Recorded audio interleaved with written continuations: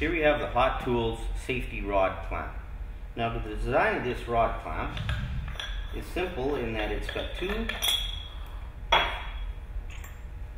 internal dies that have an opposing helical design that when applied force to the polish rod, they have superior gripping techniques than a traditional 6-bolt rod clamp. Simply install the dies evenly, tighten the threaded cap. So as the cap is tightened and snugged up with a 36 inch pipe wrench, it forms a perfect device for lifting. It can be used in both reciprocating pump trap operations or in a rotating screw pump.